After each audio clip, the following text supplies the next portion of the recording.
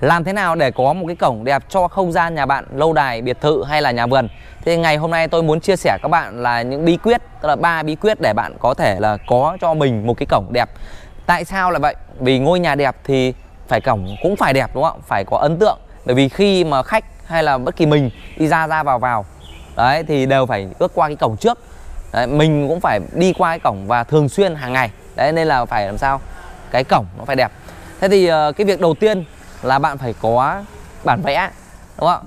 Bản vẽ tức là sao? Khi mà bạn thuê nhà thuê thiết kế nhà thì bạn cũng có một cái mình bản một cái bản vẽ về tổng quan một cái cổng. Nếu mình làm theo cái cách phương án là thuê tính cái trúc sư thì là như thế nào? Thứ nhất là bạn sẽ phải mất thêm tiền đúng không? Cái việc thứ hai ấy, là bên kiến trúc sư có thể là chưa chắc đưa ra cái mẫu cổng mà gia công nổi. Đấy vì vì sao? Chưa chắc nó đúng thực tế. Thực tế có thể mình đưa ra vẽ rất nhiều hoặc là có thể rất là dườm già nhưng mà sau đó là đưa cho cái đội ờ, làm thực tế đội thi công đội lắp ráp như chúng tôi chẳng hạn thì cũng tôi cũng có thể là không thể làm giống hệt được.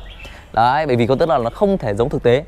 Cái việc thứ hai là bạn có thể làm sao? Lên trên mạng bạn xem cái mẫu cổng nào trên uh, internet.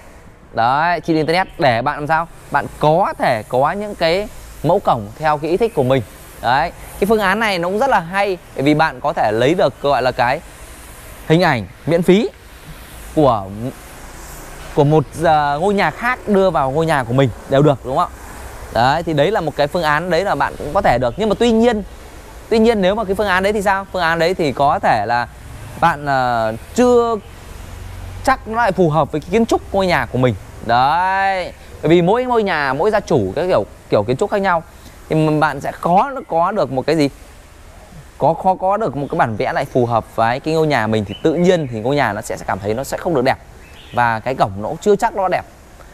Cái việc thứ ba ấy là bạn thuê hoặc là bạn nhờ chính cái đơn vị làm cổng đó yêu cầu cái đơn vị làm cổng có một cái bản vẽ thiết kế cho ngôi nhà của mình cho cái cổng của mình. Cái ngôi nhà nó phải phù hợp cái cổng nó phải phù hợp với cái ngôi nhà. Đấy, thì bạn sẽ có một cái cổng nó đẹp nó phù hợp hơn.